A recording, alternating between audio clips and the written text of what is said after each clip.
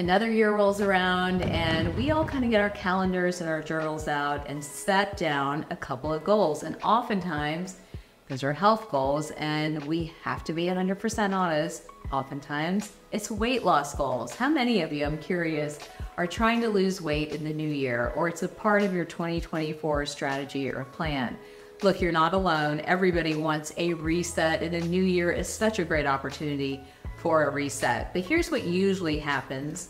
You start a plan, you start a program, you might be motivated until I think they have statistics on this. I think it might be until about January 28th, and then everybody falls off the wagon.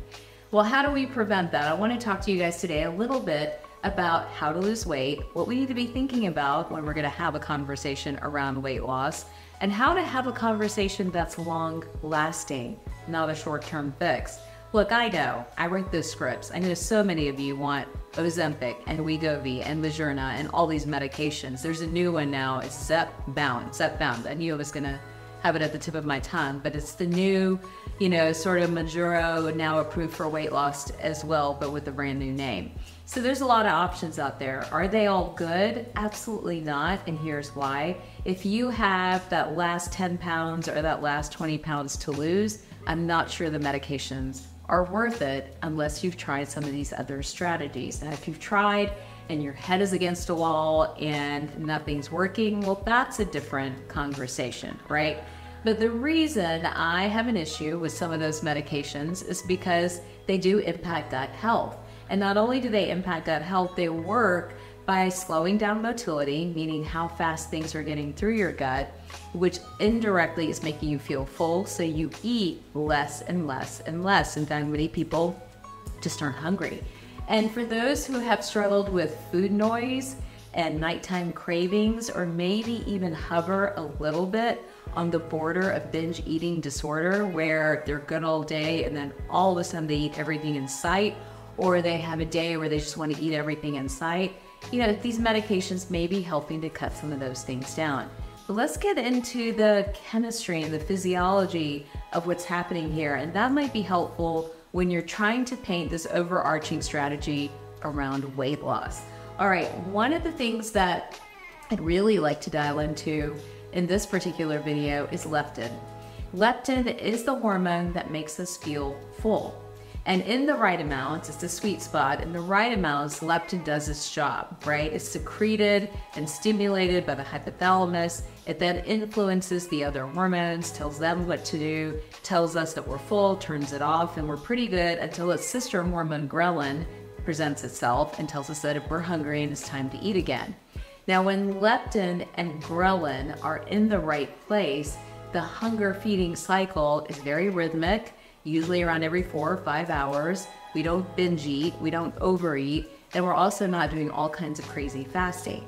But when that leptin or ghrelin is off, right, gets dysregulated for a number of different reasons, and we'll break those down in a minute, then the whole hunger feeding cycle is completely disrupted, and you're either hungry all the time or not hungry at all, you don't feel full, your satiety centers are not sort of clued in, and you've eaten maybe two meals when you should have just eaten one meal, and weight and weight loss continues to be a challenge. So let's get into the chemistry of how leptin works and how it plays a role in the conversation around weight loss. So leptin is actually released from fat tissue or fat cells.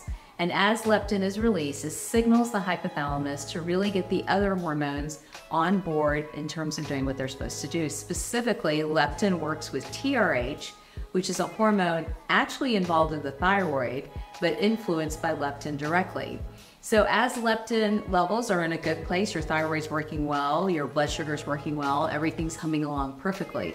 But when we get too much leptin, right, there's a lot of fat cells, you're having an outpouring of leptin, and those levels get really high, then it is impacting TRH secretion and suppressing the thyroid to a certain extent and impacting all the other hormones as well.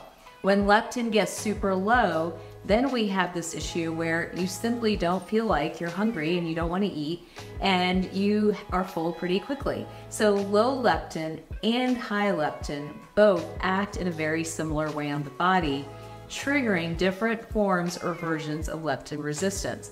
And that's what makes us hold on to weight.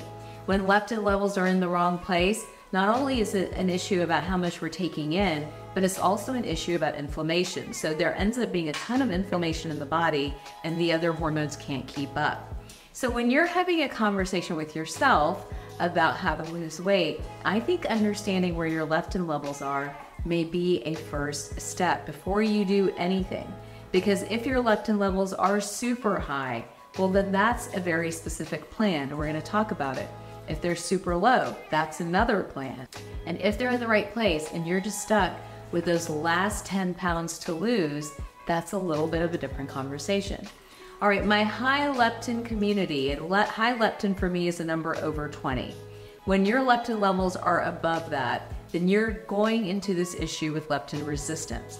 For those folks, they are not aware of when they're full or when to stop eating. So there are a couple of things that need to happen in terms of a weight loss plan.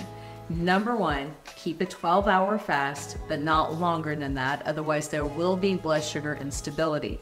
Number two, work on eating every four hours, getting about 20 to 30 grams of protein in every four hours. It helps to manage the blood sugar, but it also prevents overeating and excessive amounts of protein or fat or any of these foods that can make leptin resistance worse.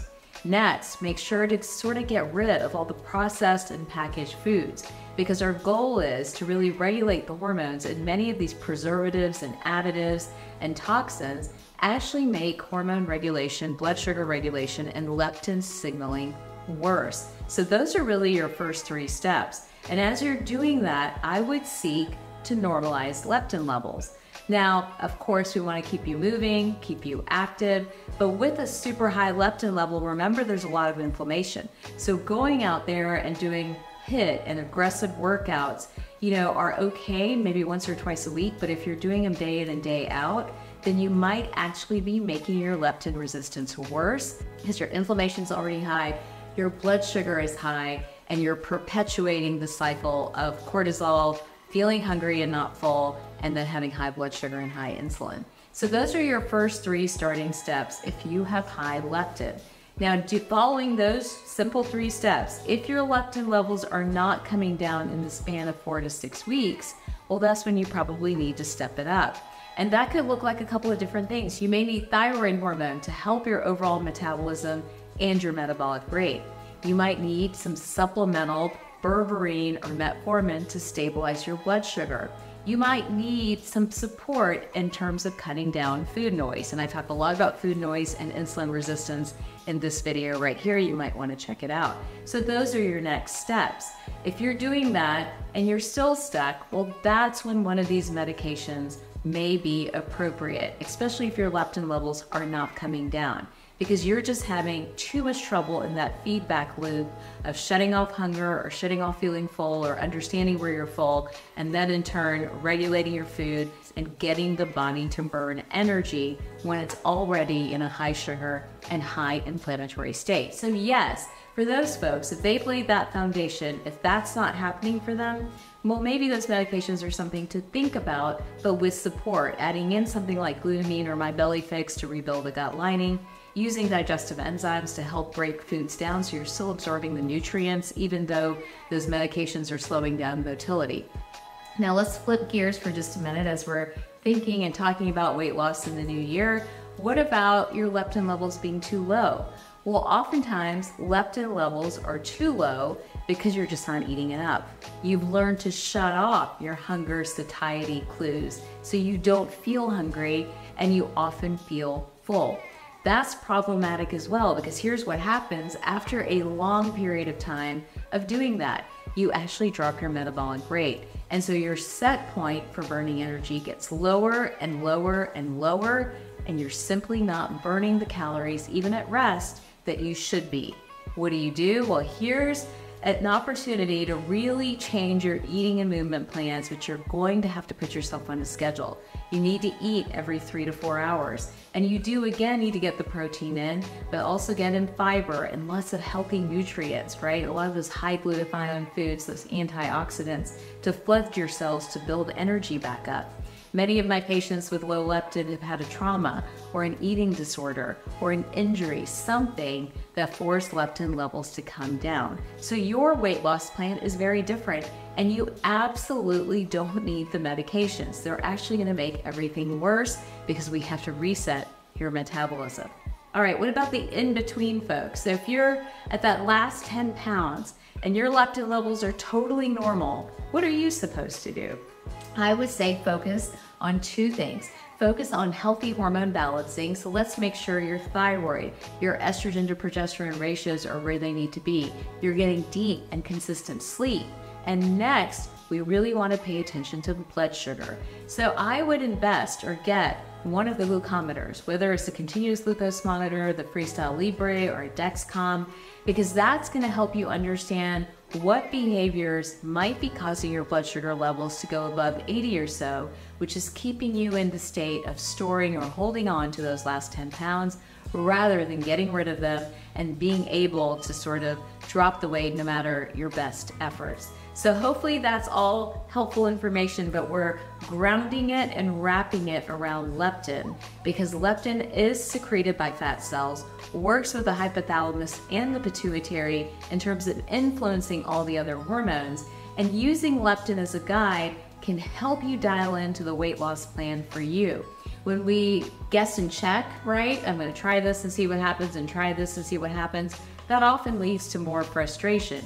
And for those of you that choose to use one of the medications, remember if we can get that leptin level back down to its sweet spot, that's where we can start to wean the medication and slowly get you off rather than keeping you on it indefinitely, as some doctors have suggested. Okay, I hope this is super helpful in terms of thinking about a novel way or a different way to manage your weight story and also game plan your path to weight loss rather than falling into the one size fits all sort of routine that we're all really tired of hearing. All right, I post new videos every week. Don't forget to like and subscribe.